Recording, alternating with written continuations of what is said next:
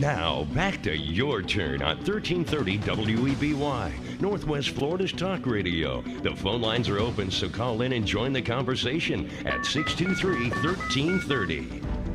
And now, the Commander in Chief is back. Freedom Friday with Carl Gallups, the Oval Office of Gulf Coast Talk Radio. All right, welcome back, America. Freedom Friday with Carl Gallups. And as I have been promising you, Eric Hovind is with us in the uh, studio via telephone uh, live. Eric, welcome to Freedom Friday. Hey, Carl. Good to be with you, man. Man, it's good to have you back. I enjoy having you every time uh, that you're with us. And uh, and uh, Eric Hovind is the president and CEO of Creation Today. He's got a huge internet uh, presence and a worldwide ministry. And uh, Eric, uh, you've you've got a big conference coming up in October down in Orlando called the Proof of God Conference. Tell everybody about that. I could not be more excited about a conference. While less than 2% of people actually share their faith on a regular basis, 100% of Christians are at one time or another challenged to defend their faith. Yeah. And what we've discovered is a lot of Christians cannot defend their faith in God.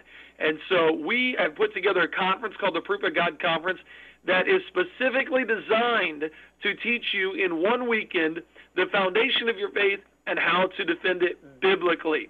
We find oftentimes people that are defending their faith are doing one of two things wrong either they're defending God wrong and defending a, a possible God or a, a, maybe God or a, a we hope so God, or they're just defending the wrong God altogether and they're not talking about the one true absolute God of the Bible. And so this conference is not designed to turn people into geniuses overnight so that they can uh, be apologetical geniuses, but it is designed to teach them the foundation of their faith and how to defend it biblically, starting at the very, very beginning of, uh, of our worldviews. So I, I just, like I said, I couldn't be more excited. We got an incredible, incredible lineup of speakers. We've got uh, Carl Kerby for reason, from Reasons for Hope Ministry, Sye Ten Bruggencate from ProofThatGodExists.org, uh, Ken Ham from Answers in Genesis, Mark Spence from Way of the Master, Paul Taylor, who works with me here at Creation Today, yeah. and myself, as well as a number, 12 different breakout speakers. It really is going to be amazing. Yes, that does sound absolutely amazing. Tell folks how they can go. Can they get uh, uh, group rates, and uh, how do people get uh, tickets to this thing, and uh, how do they reserve rooms, and do you have a website for it? I know the answers to all those, but you tell the folks. We got a great website called proofconference.com. P R O O F for those that are alphabetically challenged, proofconference.com. And from there, you can register. Of course, our toll free number is on there, but if you want that, it's 877 479 3466. 877 479 3466. And I'm happy to announce that we have a few um, seats left that are available for pastors only, where they can get in absolutely free and they got to call our toll free number to get that. That's 877 479 3466. So if you want your pastor to attend this, it's going to be in the Orlando area on October 12th and 13th of 2012. It's uh, this one month away, and we are really excited about it. Right. We're going to have uh, street preaching opportunities uh, for us to learn from Mark Spence as he does breakout sessions. We're going to uh, have tracks that uh, during our dinner break we actually go out and and put this into practice. Uh, I uh, don't mean to scare people away, but it really is. It's going to be a really good time. Yeah. No, it sounds awesome, and I appreciate the information. Well, listen, Eric, let's do this. Uh, let, let me tell our listeners first of all, if you would like to call in and be a part of this next segment of our show and talk to Eric Hovind, uh, especially if you have questions for Eric, uh, listen, Eric and I would love it if somebody would call us and challenge us. I mean, we're up for a challenge. You up? You up for that, Eric? I love challenges, baby. Okay. Well, in in particular. Eric is a gentleman. He is gracious, and I promise I will be a gracious gentleman.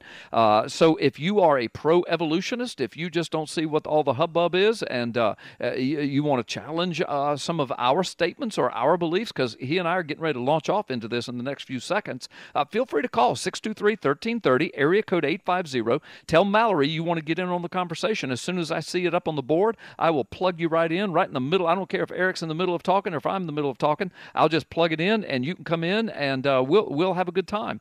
But uh, Eric, you and I talk a lot about that. Well, you know, we, we each have ministries in this, but you and I are friends and have been for a long time, and we talk a lot about this. And one of the things that uh, uh that I continually emphasize is that evolution is not settled science. There's some, in, yeah, it's just not. It's just not. There's some interesting propositions. Newsflash, newsflash. Yeah, well, well, the reason I say that is because you turn on the History Channel and they'll say billions of years ago. You pick up a textbook, it'll say the fossil evidence proves. You, you turn on uh, the Learning Channel, millions of years ago when man roamed the earth. I mean, it's it's as though it's settled science. And of course, yeah, yeah but you you go ahead, you talk about it. I'm tired. That's exactly the way they present it, and it is so frustrating because we go, wait a minute. It's a theory. And as Paul Taylor, my colleague here, would point out, he would say, wait, a, a theory is something that actually has evidence to support it, and we're wondering if that's, you know, what really happened. Evolution isn't even a theory because there's no evidence supporting it. Now, a lot of your people out there are probably going, wait a minute, or if you're an atheist or an evolutionist, you're going, wait a minute. Evolution has lots of evidence. Now we got to get into semantics. What do you mean by evolution?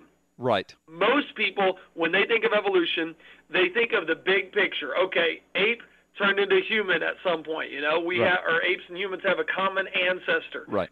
That kind of evolution, there's no proof of whatsoever. Absolutely all we see is what we call horizontal evolution, and really it shouldn't even be called evolution. It's simple variations within kinds of animals. Right. And all evolution means that word's been co-opted anyway. All yes. it means is just change, change over time, and and as you said, between in, in within species uh, or between animals. I mean, dogs are always dogs, uh, cats are always cats, horses are always horses, even though there are multiplicities of variations of those. Uh, yeah. So so you have that. I mean, that's a scientific fact. I mean, the Bible talks about that. So it we does. we don't have a problem with that, right? The Chihuahua is as far as I can go and say maybe they got a point, but no, it's still a dog. Come on, I know. Let's, let's It's- see it's- this. It, it really is plain Yeah. as day. I mean, you- it kind of look at it. It's kind of a mixture between a cat, a rat, and a dog. I mean, you know, you got to you got and a squirrel. You got to admit. Hey, let's go to the phone lines. We got a fellow on the line. Ward, you have a question for Eric Hovind. Go ahead, uh, Ward. Thank you, by the way, for being a part of Freedom Friday.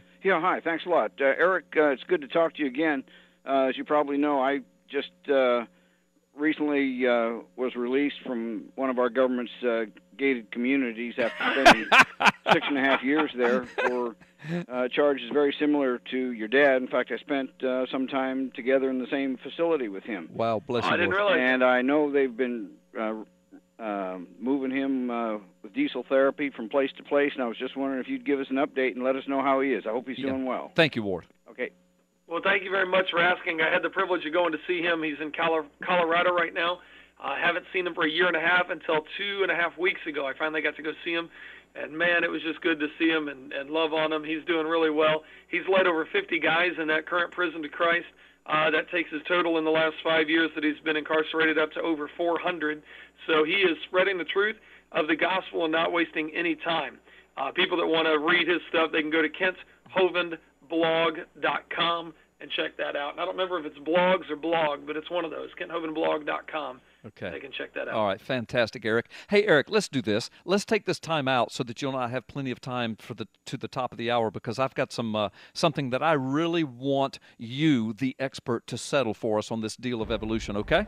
All right. All right, good deal, folks. You're listening to Freedom Friday with Carl Gallups. Eric Hovind is my special guest this afternoon, uh, President and CEO of Creation Today. We'll be right back after this brief timeout.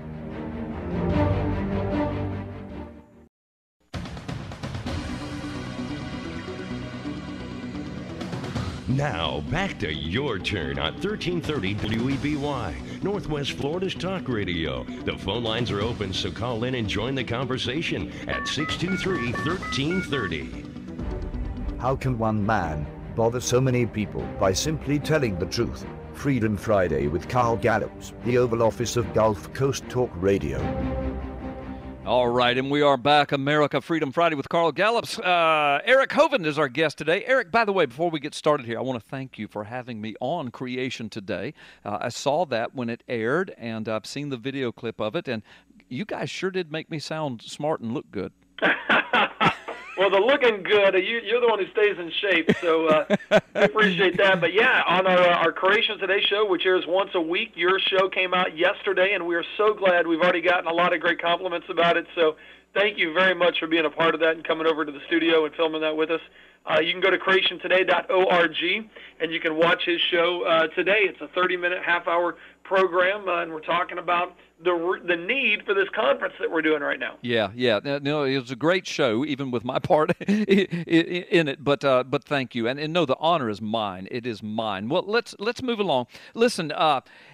One of the things that's uh, really in, in, in my craw about this whole evolution thing is that um, the foundation of evolution is origins theory. That's the foundation of it. I mean, I, I mean, you know, how everything happened. How did it get here?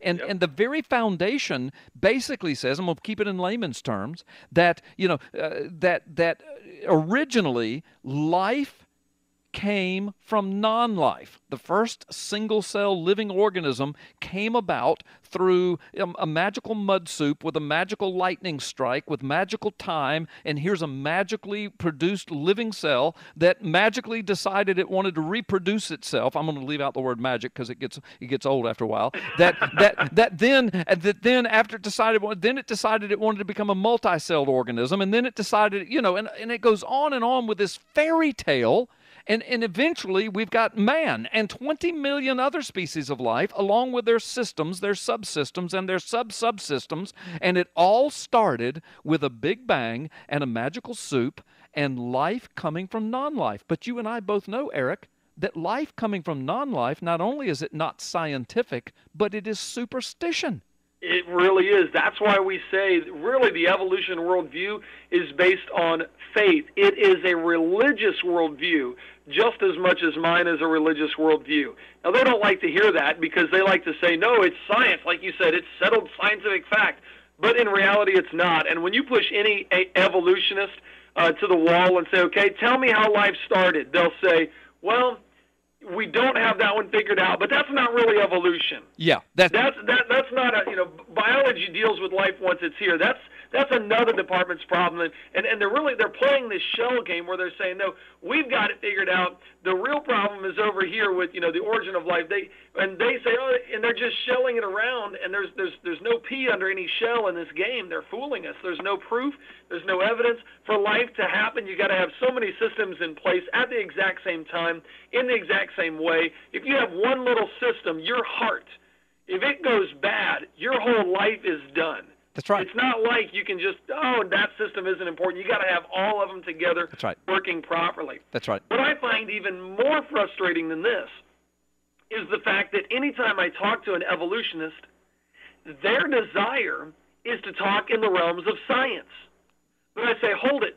What is the underlying principle to do science? In order to do science, we have to believe in the uniformity of nature. In other words, what happens today will happen again tomorrow. Yo, no, right, absolutely. But the evolution worldview cannot account for the uniformity of nature. They say everything is always constantly changing and evolving. Right. You right. don't try to put a man on a moon if you don't know what's going to happen when you push that button. That's we do science based on the uniformity of nature. And the Christian worldview is the only worldview that says we've got a God that says he's going to keep things the same yesterday, today, and forever. We can account for the uniformity of nature. The unbeliever, the evolutionist, cannot account for the uniformity of nature. No. They want to talk about science on that science level before they can even account for the ability to do science. Absolutely. And while they talk about science, and by the way, if you want to weigh in and if you want to agree or disagree, call 623 1330, area code 850 623 1330. You can talk to Eric uh, and, and you can disagree with him and, and, and let him talk with you. But while they speak of science, then immediately they get into pseudoscience uh, with abiogenesis, chemosynthesis, uh, uh, uh, spontaneous generation, and then you just mentioned the perfect illustration: the systems of a human being. For example, there are twelve systems. You know, the the the endocrine system, the circulatory system, the nervous system, the digestive system, the elimination system, et cetera, et cetera. And as you so brilliantly pointed out, you can't if you take any one of those systems away, you die which yeah. which means all 12 systems with with the exception of the reproductive system all 12 systems have to be in place functioning together or the human being won't function now the question is When did evolution decide that? Yeah. And how did evolution I love decide how we that? give, or evolutionists have to give evolution a personality. It literally does become their god, and that's why it's a religion. Because anything that they can't explain, or anything that they want to explain, evolution did it. yeah, As in, like when we say, "Well, that's the way God did it," they say that's the way evolution did it. yeah, And they get upset with us for saying, "Well, you guys are just the god of the gaps. If you don't understand something, you don't go to science. You say God did it." I say, you know what? I'm not just a god of the gaps. God did not just do the things we don't know. I'm a god of what we do know. Right. The. God that the God that we serve created what we know and what we don't know. Right, right. They are evolutionists of the gap, though. By the way, they just if they can't explain it, well, you know, Yeah. science and evolution will explain it one day. It just hasn't yet. That's right. And you made another brilliant point, and that's why you're the president of creation today, because you are brilliant. And, and, and- you are. I mean, God has gifted you with a brilliant mind, and you've come from an awesome family and great stock, and you've been in this since you were a child. So, I mean, you, you can debate with the best of the debaters, but you made another brilliant point uh, a, a, a, a moment ago when you were talking about how they give personality to the word evolution. You know, I've never thought of that before, Eric, but you're absolutely right. They, it, it, the, the word evolution takes on a personality and it literally becomes their person, their, their God that does everything. That's exactly right. You know what I find even more frustrating, Carl, than all of this What's that? is going into a conversation with an evolutionist or an atheist. There are certain assumptions that both sides have. We assume that our speech is going to be understood by the other person. We uh, assume that we're going to speak logically, that the laws of logic are going to hold, that that that neither one of us is going to uh, allow contradictions. We assume these things. Right. The problem is, once again, the evolutionary, the atheistic worldview cannot account for the laws of logic, the laws of math, the laws of morality, the laws of science. I love it when they go against God and say, well, the God of the Bible is a wicked God. Well, they're making a moral argument against God. But the laws of morality are universal. Right. They're, they're immaterial, they're not made out of matter. And they're universal, they're immaterial, and they're unchanging. Right. How does your worldview, Mr. Atheist or Mr. Evolutionist, that is a worldview that says the world is only made out of matter, it's constantly changing, it's not eternal, how does that worldview come up with char- uh, come up with things that are exact opposite of its very characteristic? Absolutely. Another brilliant point.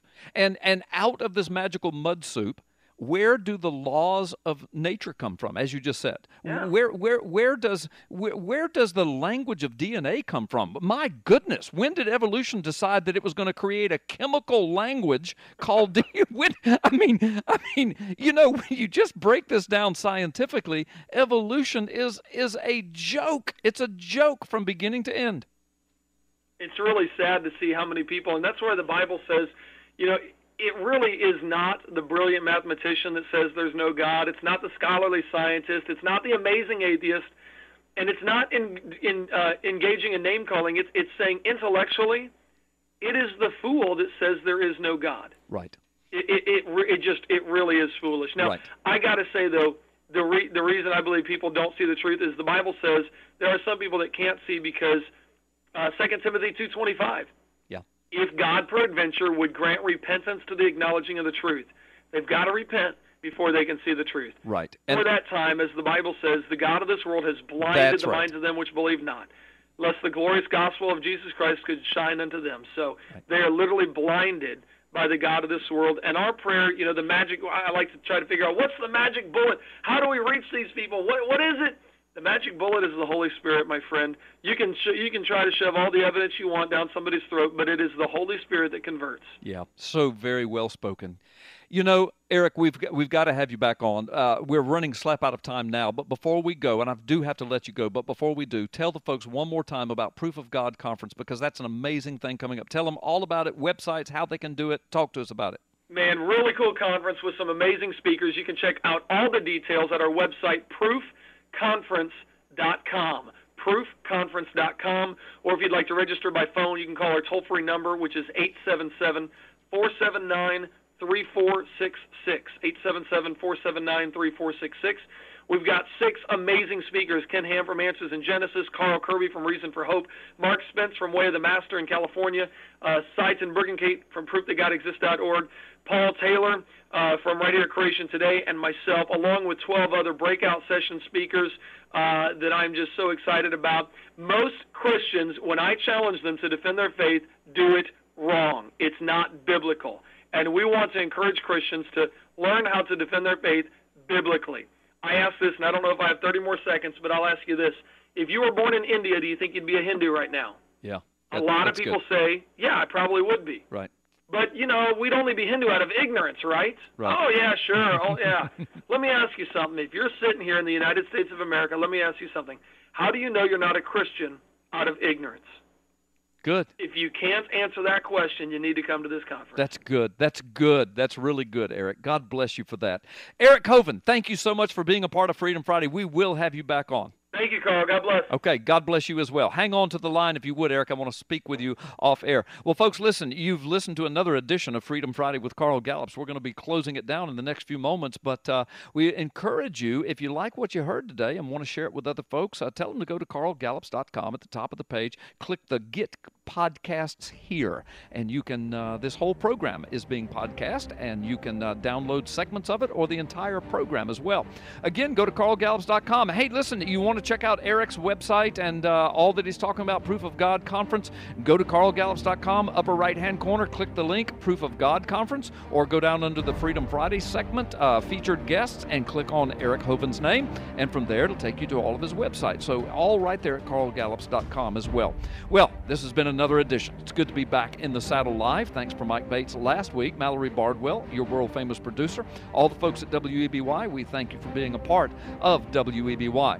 We'll be back next Friday with some more special guests and a wonderful time. I want to thank my listening audience and thank you for making my book a number one bestseller, The Magic Man in the Sky Effectively Defending the Christian Faith. Go to carlgallups.com. It's all right there. You can order it on Amazon. We'll be back next Friday. God bless you. God bless America.